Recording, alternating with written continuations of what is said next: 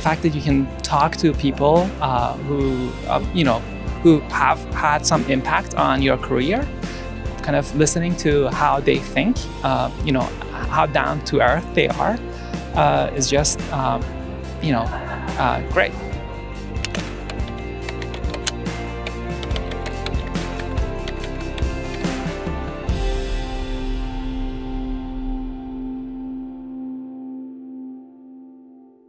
So um, the skill of reading code is, is as important as writing code, I guess, maybe even more.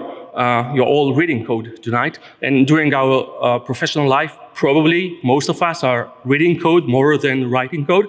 And this trend would probably go uh, even stronger with AI. So um, I'm teaching um, also C++, and um, I, I, focus in my exams on, on reading code. I mean, most of the exam, if not all of it, is reading code. Uh, are, are, you ready for exam? Uh, I mean, were you told that you'll get an exam today?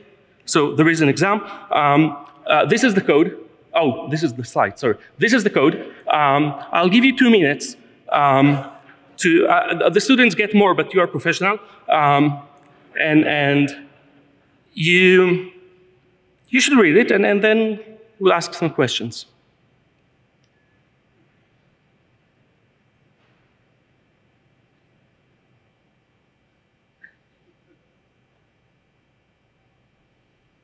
Well, you, you will not get two minutes. You, you can understand that. We're in lightning talks, right? right? So uh, let's go through that quite quickly. Uh, there is a function here, a single function, that checks whether a big bucket can be filled into small buckets, right? You, you all know this riddle, I guess. So the first argument is the big bucket, and then the second one is a vector of the small buckets, and an index for the function being recursive. Um, then we check at line three, if the bucket is zero, the big bucket is zero, then we return true as the first argument in the pair is whether we can fill, and the second argument is the actual fill up, which buckets are being used and how much, how many times. So in the fourth line, we check whether the last bucket is uh, bigger than the big one, right? Which, which means that we assume here that the small buckets are sorted in a decreasing order, okay? Uh, then if this is the case, it means that we cannot fill the uh, buckets because the last one is, is too big.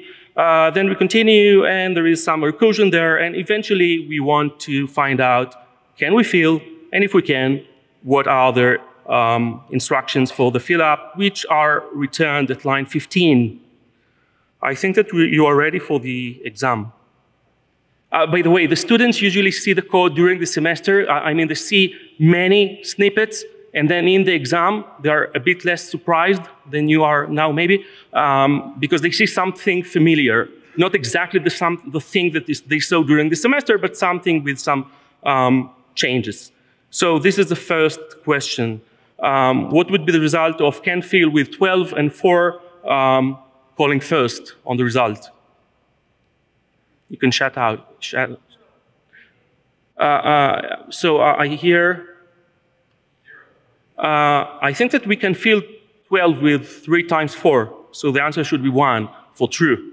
Okay, Th this should be the, the, the case.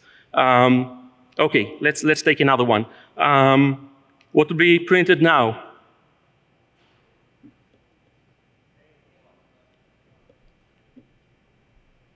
I want to hear some more answers. Okay, so the answer is zero because uh, the small buckets are not uh, sorted in a decreased order, and the last one is 13, and, and you cannot fill 12 into with, with 13. We should come up with uh, decreased order for the small buckets. We didn't. Okay, let's take another one. How many times can fill will be called with these arguments? Now, I know that you need the code for that, so let's do it with the code. Um, you have the call underneath, and I'll give you some time.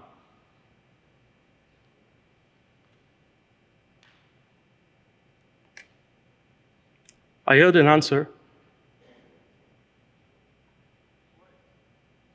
Those who answer now are those who submit the, the exam one hour before the, the rest?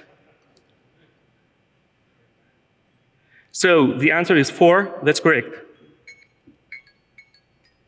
I start another five minutes. Uh, so, um, can ChatGPT answer those questions? Right? I, I, mean, we are going to use code created by AI. Can AI read the, the code? So I, I, just, you know, put the code in into ChatGPT and asked, can you explain the code? And the explanation is quite good. I mean, it explains it much better than I would, uh, with only two things that I would amend. First, there is a, a, an error uh, off by one. Uh, uh, it says that it counts down to one, it counts down to zero, and there is an omission in the return value explanation. That's quite good. I mean, we would use things like that. And then I, I asked uh, ChatGPT, uh, can it take the exam? And, and, it took it quite well. I mean, maybe he's cheating. Maybe he's running the code. So I asked him, are you running the code? He says, no, I'm not.